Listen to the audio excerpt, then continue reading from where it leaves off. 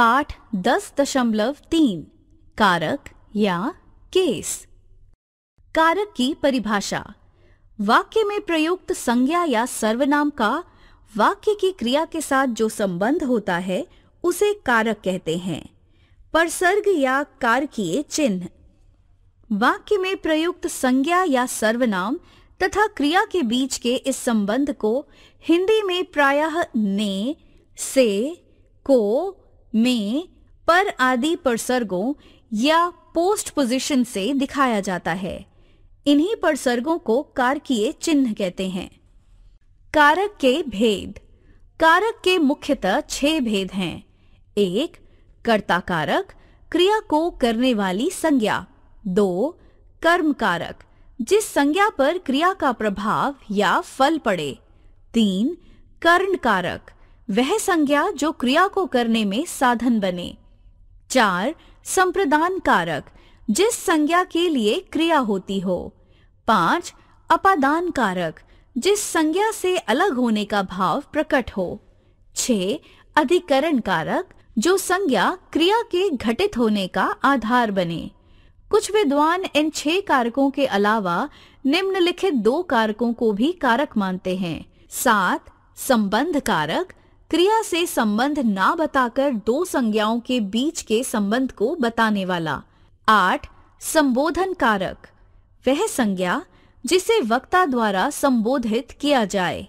एक, कर्ता कारक या कारकीय चिन्ह शून्य, ने, से, के द्वारा। वाक्य में संज्ञा के जिस रूप से यह पता चले कि वह संज्ञा क्रिया करने का कार्य कर रही है तो वह संज्ञा कर्ता कारक में कही जाती है। दो कर्म कारक या कारकीय चिन्ह शून्य। को, वाक्य की जिस संज्ञा पर क्रिया का फल या प्रभाव पड़ता है, वह संज्ञा कर्म कारक में कही जाती है।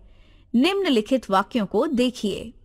एक, माँ बच्चे को बुला रही है।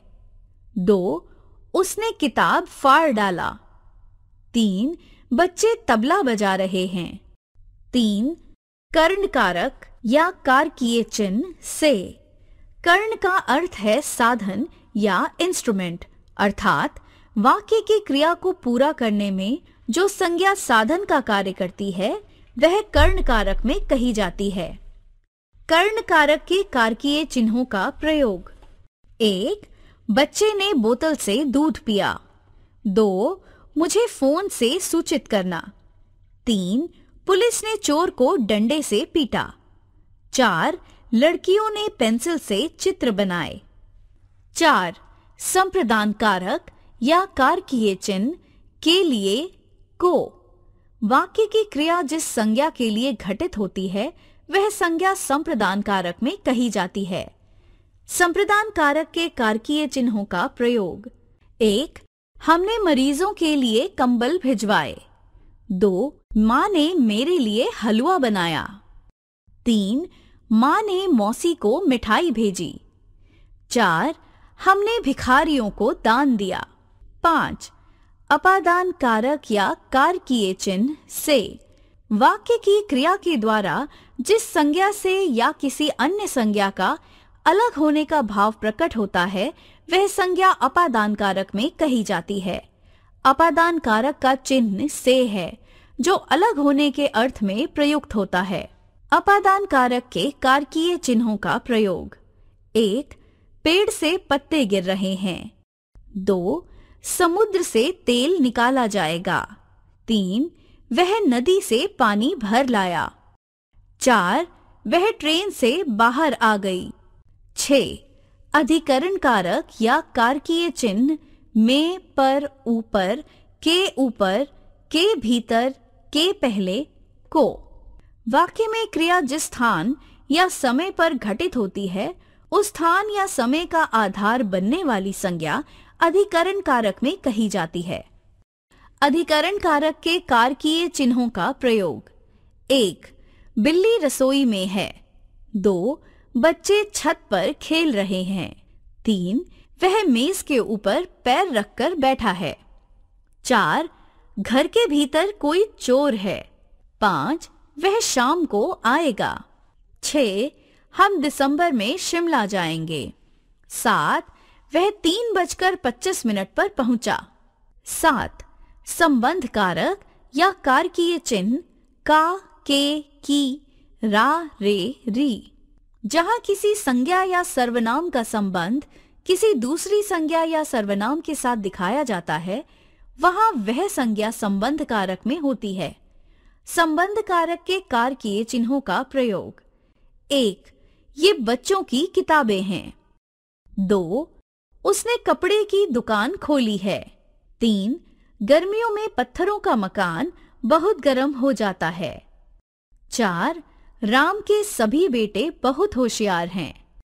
पाँच, मेरी कमीज फट गई है। छ, हमारी कहानियाँ पत्रिका में छपी हैं।